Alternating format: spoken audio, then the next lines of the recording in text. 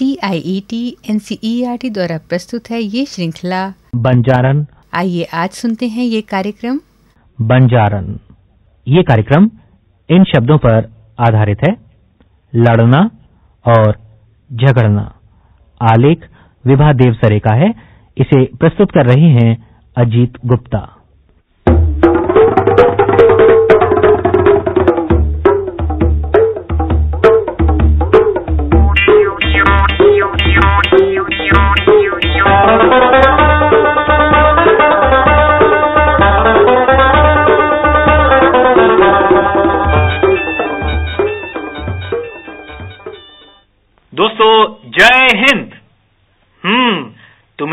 है ना कि आज तुमसे मिलने कौन आ रहा है? हम्म याद करो। अच्छा भाई, मैं तो नहीं बताऊँगा। लो, तुम खुद ही सुनो।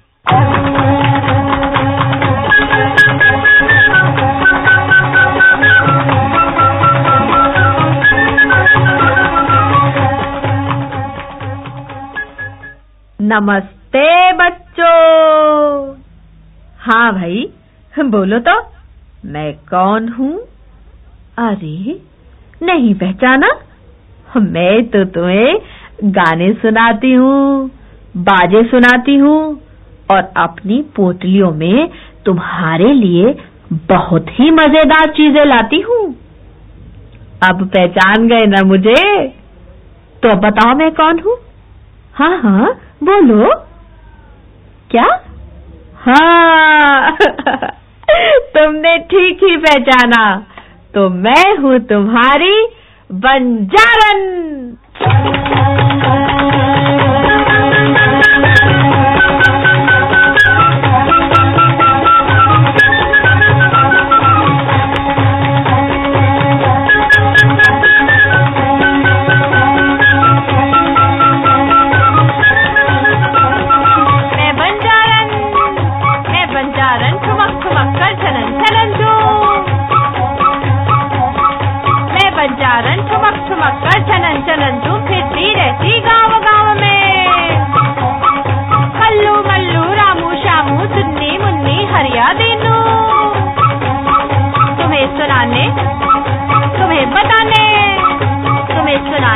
बताने लाई हूँ मैं एक पिटारा। जादू का? नहीं नहीं, ये बड़ अजब है। तापने वाला? नहीं नहीं, ये बड़ा गजब है। ठुमक ठुमक ठुम ठुमक ठुमक ठुम झनन झनन झुम ठुमक ठुमक ठुम झनन झनन झुम मैं बंजारन नाचू गाऊं बच्चों, तुम भी नाचो गाओ।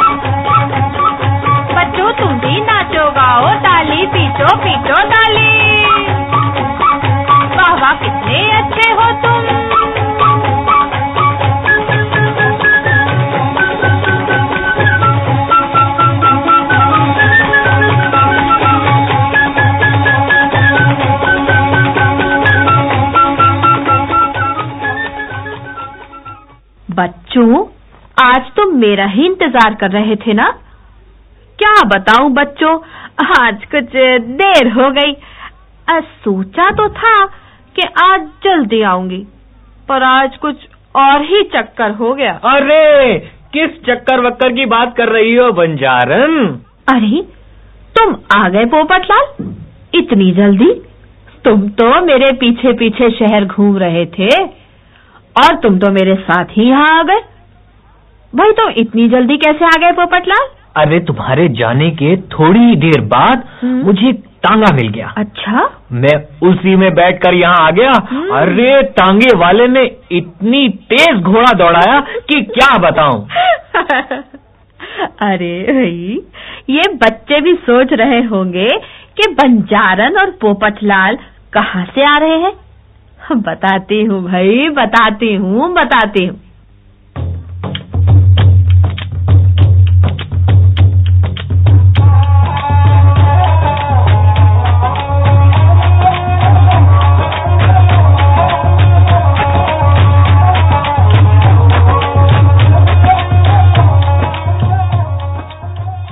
बच्चों, असल में मैं शहर गई थी घूमने। मुझे वहाँ से कुछ सामान भी लेना था। अरे यही छुटपुट सामान जैसे चूड़िया। पायल भी लाई हूँ और लाई रिबन। अरे वो ही बालों को बांधने वाला फीता। अपने लिए एक छीट का घाघरा और चुनरी भी लाई। अरे दोस्तों इस बंजारन ने वहाँ झगड़ा भी किया था। ये नहीं बताया इसने। अरे भाई पोपटलाल पूरी बात तो बताने दो। बस बीच में बोल पड़ते हो। तो बताओ ना। हम्म ठीक है। हाँ तो बच्चों हुआ ये कि वहाँ से वापस आने के लिए मुझे एक ऊँट गाड़ी मिल गई। मैंने उस ऊँट गाड़ी वाले से पूछा भैया क्या तुम गाँव की ओर जा रहे हो? गाड़ी वाला बोला हाँ हाँ उसी ओर जा रहा हूँ। मैंने कहा तो फिर भैया, मुझे भी ले चलो अपनी गाड़ी में. गाड़ी वाला ज़ोर से बोला, ठीक है, ले चलूँगा, पर एक रुपया भाड़ा लूँगा. ये सुनकर मुझे तो गुस्सा आ गया। हम मैंने सोचा, अरे, थोड़ी ही दूर तो गाँव है, और ये रुपया लेगा एक, पूरा का पूरा एक रुपया। मैं बोली वाह भाई वाह, गाड़ी उसी ओर ले ही जा रहे हो। मेरी वजह से तो उधर जाने ही रहे। मुझे अकेली और गरजमंद देखकर पूरा रुपया मांगते हो? इस पर गाड़ी वाला बोला, तू तो अकेली है, पर तेरे साथ इतनी भारी पोटली जो है, मैं तो पूरा एक रुपया ही लूँगा, इससे कम नहीं। अरे, उस गाड़ी वाले की इस अकड़ को देखकर मुझे तो गुस्सा आ गया। और बात की बात में हो गया झगड़ा गाड़ी वाले से। मालूम है दोस्तों इस बंजारन ने क्या कहा उस गाड़ी वाले से? कहती थी कि कोई लाठी लेकर चलेगा तो क्या उसकी लाठी का भी भाड़ा लोगे? मैं तो पच्चीस पैसे दूँगी और चलूँगी भी पोटली लेकर। हाँ हाँ ठीक ही तो कहा था। पोटली तो मेरे सिर पर लदी थी। गाड़ी वाले को क्या परेशानी थी भला? हाँ तो बच्चों, पच्चीस पैसे देने की बात सुनकर गाड़ी वाला क्या कहने लगा? जानते हो? वो बोला, जा जा, मुझसे भाव तोल मत कर, किसी दूसरी गाड़ी में चली जा। अब बताओ, भला इसमें भाव तोल की क्या बात थी हाँ? अरे एक सवारी ही तो बिठाएगा और लेगा पूरा एक रुपया। अरे वो तो उस समय में वहाँ पहुँच गया, नहीं तो न जाने कब तक तुम्हारा उस गाड़ी वाले से झगड़ा चलता रहता। हाँ भाई पोपटलाल ये तो तुम बिल्कुल ठीक कह रहे हो। पर भाई, मुझे तो गुस्सा इसलिए आया कि वो मेरी पोटली का भी भाड़ा मांग रहा था। अब तुम मुझे एक बात बताओ पोपटलाल कि तुमने अपने सिर पर जो पगड़ी पहन रखी है तो क्या तुम्हारी पगड़ी का भी भाड़ा लगेगा? भाई वाह तुमने भी खूब कही। लो इसमें हंसने की क्या बात है भला? मुझे तो उस गाड़ी वाले पर इतना गुस्सा आया कि क्या बताऊँ। और दोस्तों तभी पोपटलाल मुझसे बोले लो मैं क्यों बताऊँ? अरे भाई तुम यहीं खड़े हो तो बताते क्यों नहीं कि क्या कहा था? हाँ हाँ बताता हूँ। दोस्तों मैंने बंजारन से कहा कि भाई तुम जरा मुझे भाड़े का भाव तोल कर लेने दो। तो मैंने कहा ये भी कोई साग भाजी है जो भाव तोल करोगे? अरे बंजारन मैंने ही तो भाव तोल करके पचास पैसे में भाड़ा तय करवाया नहीं तो तुम अभी तक वही झगड़ रही होती। वाह भाई वाह। झगड़ मैं रही थी या वो गाड़ी वाला झगड़ रहा था? हम्म, वो तो मैं बैठ गई गाड़ी में। नहीं तो खैर, अब बच्चों, जैसे तैसे राम राम करते हुए गाँव पहुँची। गाड़ी वाले को कीमत चुकाई और तब भागी भागी तुम्हारे पास आई हूँ।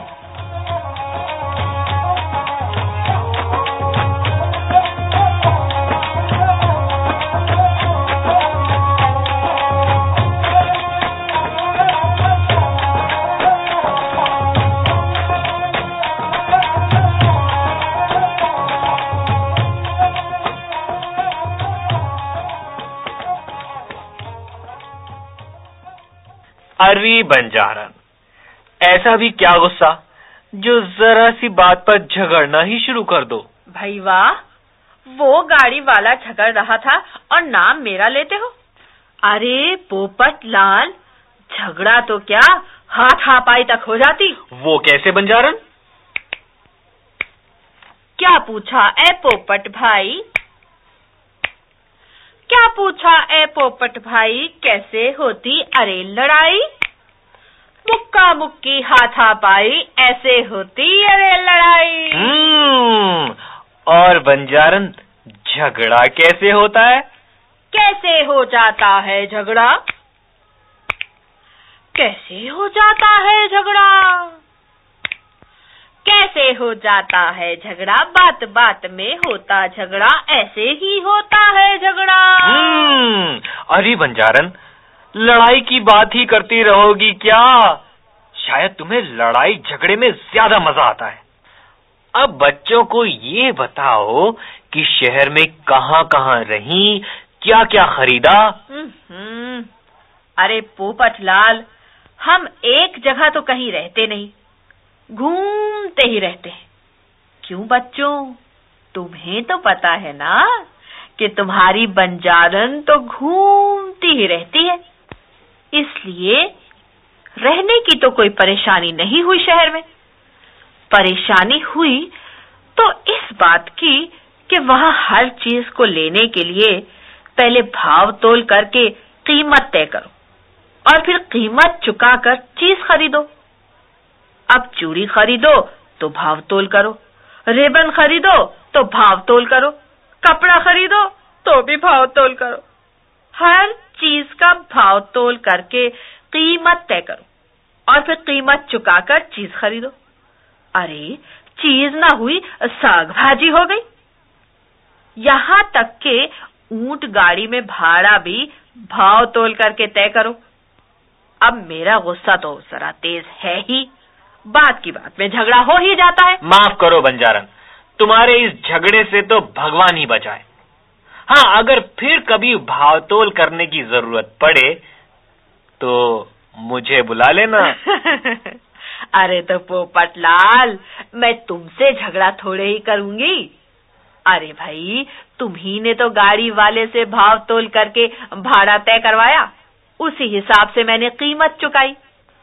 तभी तो मैं बच्चों से मिलने आ सकी। अच्छा तो बच्चों आज का दिन तो इसी लड़ाई, झगड़ा भाव तोल और कीमत चुकाने की बातों में निकल गया। अब कल मिलूँगी, तब नए नए गाने सुनाऊँगी और मज़ेदार बातें बताऊँगी। अच्छा बच्चों, नमस्ते!